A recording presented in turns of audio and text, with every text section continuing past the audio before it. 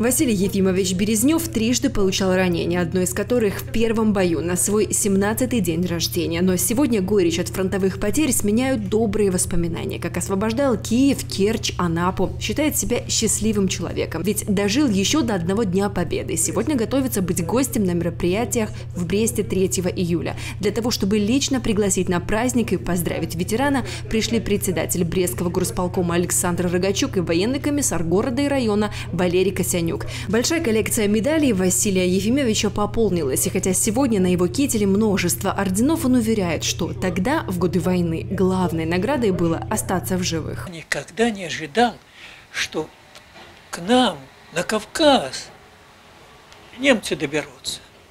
А тут, понимаете, уже где-то летом 42 -го года, когда немцы на Сталинград и на, Кавказ и от нас уже были немцы где-то 80 километров, а потом и 60 километров.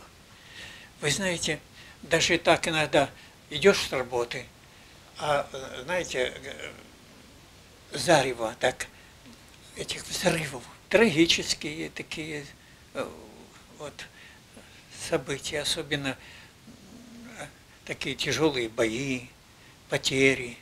Они тоже, конечно, Разве можно забыть их? Да не забудешь никогда. В уже осталось 120 человек, которые с оружием в руках защищали нашу родину в годы войны.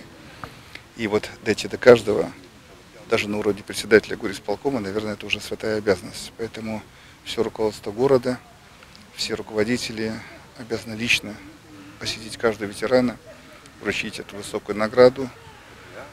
И вот эти ощущения, которые сегодня я испытываю, это ощущение восхищения – масштабом личности этих людей. Восхищает их патриотизм, вера в то, что жизнь прожита не зря, и э, тем более обязывает нас, поколение, которое идет после них, сохранить все то мирное, все то, что они сделали для нашего поколения. Много страдал и выживал ради счастья потомков и Аркадий Моисеевич Бляхер. Прошел от Сталинграда до Берлина. В Бресте Аркадия Моисеевича называют человеком легендой. Его регалии вправду не перечесть. Наград и званий не сосчитать. Но новая юбилейная медаль займет достойное место на парадном кителе. Вообще, встречу мэра города Александра Рогачука и ветерана Великой Отечественной Аркадия Моисеевича Бляхера можно назвать доброй традицией. Каждый раз она проходит по-особенному трогательно эмоционально и душевно. С каждым годом все сложнее просить очевидцев военных событий рассказать о том, какой была война и победа. Но они, люди великой эпохе, всегда соглашаются говорить, несмотря на возраст и плохое самочувствие. Слушал сообщение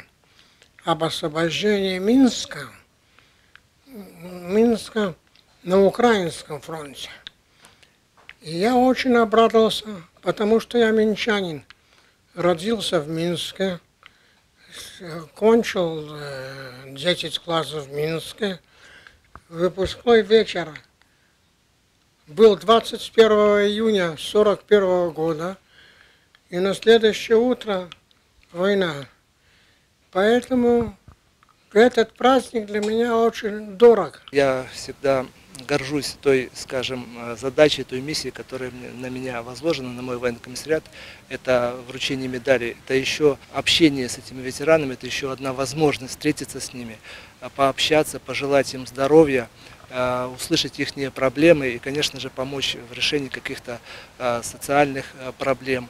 Ну и пожелать им долгих лет жизни и всех благ. Сегодня в квартирах седовласых героев особенно многолюдно. И такое внимание не только в преддверии важных праздников и значимых дат. Ведь так или иначе мы последнее поколение, у которого есть возможность пообщаться, обнять и пожать руку героям, которые подарили стране мирное небо. А потому сегодня как никогда важно поспешить, чтобы сказать спасибо. Это не компания какая-то. Мы реально каждым ветераном знакомы уже лично, потому что они занимают активную и позицию в плане участия в всех городских мероприятиях. Здоровья им и каждому до 100 лет как минимум. Поэтому благодарен здесь и нашему Совету ветеранов, который отслеживает даже жизненные изменения по каждому ветерану с точки зрения каких-то семейных неудобств, проблем каких-то семейных. Это дело чести, это дело вообще нашего нравственного какого-то долга перед нашим старшим поколением. Виктория Нечаева, Эдуард Букунович и Дмитрий Лазарчук. Телекомпания Бук ТВ.